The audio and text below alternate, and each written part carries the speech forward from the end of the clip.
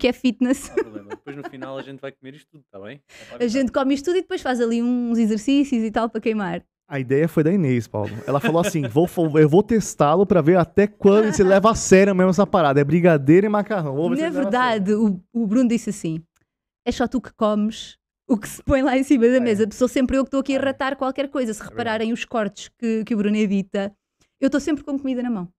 Sou sempre eu que É estou justo. com, com qualquer coisa na mão. Então ele pensou: já que és tu que vais ratar aquilo tudo, escolhe o que tu quiseres e pronto. E é isto que acontece. ela adora os dois, por sinal. Então, Pois, Tá não, explicado não há agora. forma disto também ser mau, não é? Também. exato. Mas, Se eu- sobrar algum, a gente depois rata no final. Ok, ok. Mas já aproveitando Não já, se- você come coisas assim ou não? Claro que Você sim. é aquelas pessoas que. Claro não, que ou sim. tem o dia do lixo, como é que funciona pra ti? Eu acho que. Eu acho que acima de tudo tem que haver aqui um equilíbrio. Acho que, Sim, E o equilíbrio passa por. Ou melhor, quando a gente fala em saúde, não falamos só na. Aí eu não posso comer isto ou não posso comer aquilo. Uhum, Eu acho que, inclusive, essa abordagem não é a melhor abordagem. Acima de tudo, a gente tem que ter noção do que a gente está a ingerir e, obviamente, as consequências que isso poderá trazer. Então, eu sou igualzinho às outras pessoas, que é. Eu, quando faço asneira, eu sei que estou a fazer asneira. Uhum. Então, às vezes, eu tento gerir um bocadinho esta asneira de forma a não ser tão mau. ok, ok, ok, justo. Compensar. É, exatamente. E acho que acima de tudo, principalmente desde que fui pai, então, uf, eh, ah, pronto, olha, é, é pôr na mão de Deus. Exato. Só vai. Deixa na mão de Deus. Boa. É engraçado, eu pergunto isso porque é, uma vez eu vi um vídeo é, de um fisiculturista, eu acho que vocês chamam aqui em Portugal de Uhum. culturista, né? Ou não? É, sim, fisiculturista, culturista. E eram dois fisiculturistas, na verdade, num podcast também, por sinal. E um ofereceu pro outro uma, uma batatinha, sabe? Batata de. Ruffles, sabe? Pra ele. Uhum. E ele falou que não, ele não aceitou. Ele falou: não, eu não, eu não como isso, eu não consigo. Porque ele falou: isso não vai fazer um mal nem tanto pro meu corpo, eu sei que uma batata não vai me matar, só que pro meu psicológico isso vai, vai afetar. Uhum. E, e acho que é super importante. Mas só que vamos meter isso no contexto certo, né? Uhum. Estamos a falar de dois fisiculturistas, ou então no caso dele, se calhar está a competir.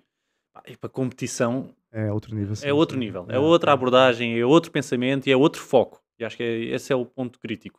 Agora, para 99% ou 95% da população que quer, se calhar, comer, Uhum. eh, quer comer hum, saudável, de forma saudável, isso significa, se calhar, 7 ou 8 em cada 10 refeições Uhum. têm que ser saudáveis. Mas Sim, depois, sim. claro que vai haver aquela refeiçãozinha que a gente vai visitar a avó e a avó tem lá os doces, ou a gente vai visitar a família e depois exageramos na quantidade, que a quantidade também interessa, mesmo por mais que seja saudável a, a Uhum. quantidade, a comida. E portanto, há espaço para tudo. Se eu, me- se eu me restringir de todo o tipo de comidas ou todo o tipo de quantidades de, todas as vezes, Uhum. das duas uma, eu tenho que pensar, ou eu estou a competir, e esse é o meu foco, ou no caso da Helena, quando fez a capa do Women's Health, havia um motivo muito específico que ela queria fazer. Então, claro, a, a margem é muito menor.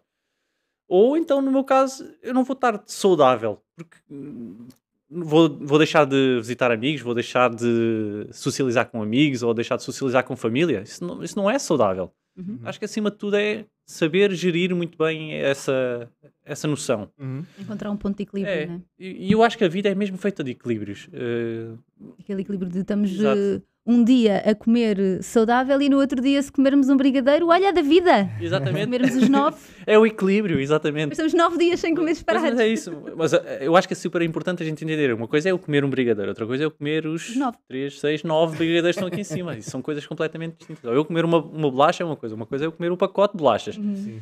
E então esse é o que po- poderá determinar se é saudável ou não é saudável aquilo que eu estou a fazer. Tudo com moderação, claro que tem o seu lugar na, na nossa alimentação e na nossa vida. E acho que eu, pelo menos, quero ensinar, um dia mais tarde, quando tiver, quando tiver que ensinar isso, obviamente, à minha filha, Uhum. espero poder ensinar o que é que é, como é que ela gera este equilíbrio. Ah, mas é, é difícil. Hoje a internet cada vez mais está no, no preto ou branco, não é? Uhum. Uhum. Ou tu comes saudável ou tu não comes saudável, não é? Tipo, ou tu comes salada, ou seja, salada está muito assumido, está presumido que salada seja Que é saudável, pois. ou tu comes fast food. Uhum. Não há um meio termo. E acho que, acima de tudo, nós, nós não crescemos assim. Nós sabemos perfeitamente. Uhum. Olha, eu agora vou dar a facada na minha dieta. E sei perfeitamente que estou a fazê-lo. E está tudo ok. No contexto certo, na refeição certa, com a companhia certa. Claro que sim. Por que não? Yeah. Eu acho que hoje em dia também há muito mais informação. Quando nós éramos miúdos, era normal nós bebermos le- leite com chocolate e um bulical eh, no, no lanche da manhã. Não, E o engraçado é que o Blical era-nos vendido como se fosse uma coisa ótima para tu ganhares energia para amanhã. Aham, Sim, sim, sim, sim, sem dúvida. E o leite com chocolate, hoje em dia, até o leite é, é- é- é questionável, quanto mais leite com chocolate, não é? Eu acho que, lá está, questionável até que ponto ou até, até que pessoa. Na mesma, tudo tem lugar na nossa, na nossa alimentação. Agora, claro, estamos a falar de uma pessoa que é intolerante à lactose ou intolerante a alguma coisa, Sim, claro, se é sim. alérgica ao leite, claro, não estamos a falar essa. Para essa pessoa em específico, o leite não é a melhor opção. Agora, se estamos a falar de uma pessoa que come tudo, sempre comeu de tudo, se bebe leite com chocolate, é o quê? Um pacote por dia? Não há de ser Não assim de nada ser. de outro. Não é por causa disso que vai ficar obesa. E tu tiveste, tu tens uma, uma filha com dois anitos, para aí, que Faz agora dois anos. faz agora abril. dois aninhos. A Iris, eh, Abril? Em abril. Eu também faço aniversário agora de 28. Ela. 28, é dia 10 de abril. É 10, ok. ela ainda é carneiro. Carneiro. Ok. Ui, teimosinha. Não, isto, Nota- os taurinos Mas é que também. se nota desde cedo. Notou-se desde cedo, que é carneira. Ela é super engraçada. Eu vejo a fazer os unboxings da, da mãe, é de chorar a rir. Ah, ela é essa muito loucura. engraçada. Essa foi a loucura. E, é o engraçado, e o engraçado que como é que um conteúdo sem voz, sem nada, consegue ser tão enriquecedor. Por- porque é a expressão dela, porque é próprio- o próprio carisma Uhum. dela. Mas falando novamente em alimentação, não sei se vocês têm algum tipo de restrição, não é restrição, mas têm algum tipo de cuidado extra com a alimentação da Iris, ou ela pode pecar de vez em quando e também lhe dão algum docinho ou Eh, assim. De vez em quando ela tem os seus momentos Uhum. e nós permitimos, porque lá está o equilíbrio. Ok, Mas exatamente, agora, era isso claro, que eu ia tudo dizer. aconteceu dentro de um tempo certo, ou seja, nós obviamente garantimos que fomos sempre acompanhados pelo, pelo pediatra e, Uhum. portanto, se- quando Ok. eh, a questão da ingestão de açúcar até uma certa idade não é aconselhável, ou sal até uma certa idade não é aconselhável, e portanto a gente foi garantindo mais ou menos, as, eh, mais ou menos, não, fomos garantindo Sim, as, eh, as guidelines mínimas de saúde, Sim. para garantir que ela está segura. Pronto. Tirando, tirando essa parte da frente, a partir do momento em que ela já tem introdução alimentar, já come de tudo, sem restrição eh, nenhuma, não há porque de vez em quando há ali um Kinder que eu estou a comer, a Lena está a comer, porque é que ela não haveria de comer? Uhum, ela uhum, está literalmente a olhar para nós. E o que é que eu vou lhe dizer? Não, eu estou a comer. Exato, tu não podes, nós podemos, Exato. tu não podes. Eu acho, e o pior é que essa proibição depois poderá ter consequências. Neste momento não, que ela tem dois aninhos, Uhum. mas mais tarde a proibição é muito pior. É Deixa muito, ela é muito preferível nós. Sim, é muito preferível nós uh, darmos acesso e explicarmos que consequências é que aquilo poderá ter. Uhum. Se ela- se- se- e é assim que a gente vai ensinando. Yeah. uh, que no, no- lá está o termo, meio termo, é que está o equilíbrio. E Eu digo isto porque, porque, lá está, como nós estamos a viver numa época do preto e branco, não é? Uhum. Se calhar muitas pessoas assumem exatamente porque tu sendo PT, e Helena também tendo uma vida hum, de alimentação saudável, né? E, e Uhum. publicamente ela também partilha a rotina de exercícios dela, a alimentação, os processos que faz, Uhum. até mesmo, por exemplo, com a capa da Women's.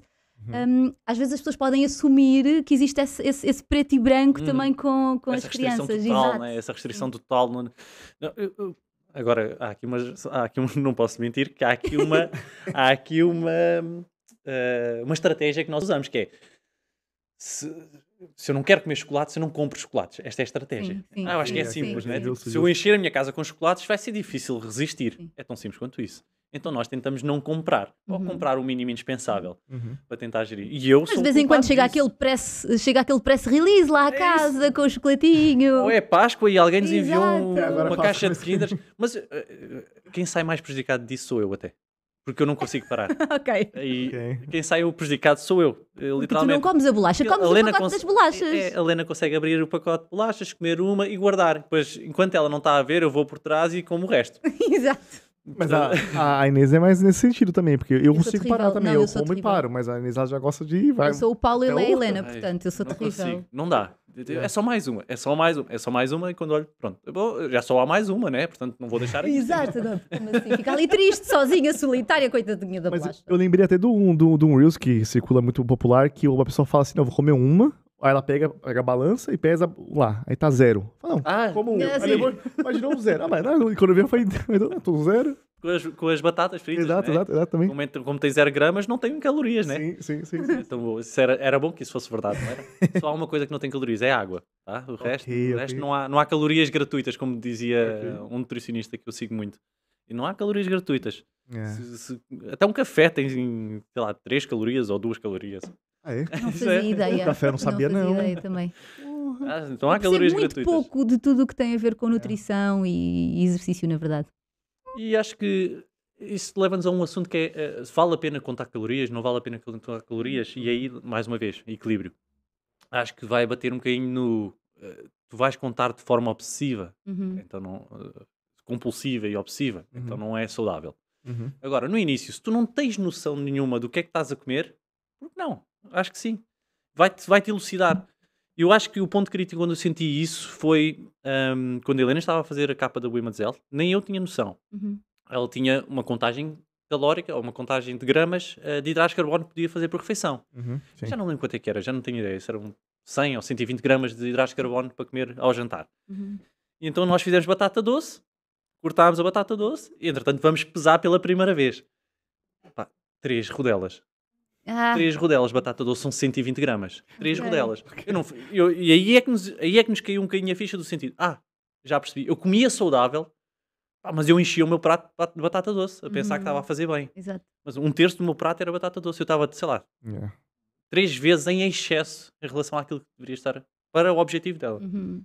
E, ela, e aí é que caiu-nos realmente o, o- a ficha em perceber que eu deveria ter feito este teste há mais tempo para conhecer o que é que realmente são 100 gramas, o que é que realmente são 50 gramas, o que é que Uhum. realmente Mais a são. noção, né? Da... Porque senão não- nós não tínhamos simplesmente noção e estávamos a dar cabo do nosso objetivo sem querer, a Uhum. pensar que estava a comer tudo saudável.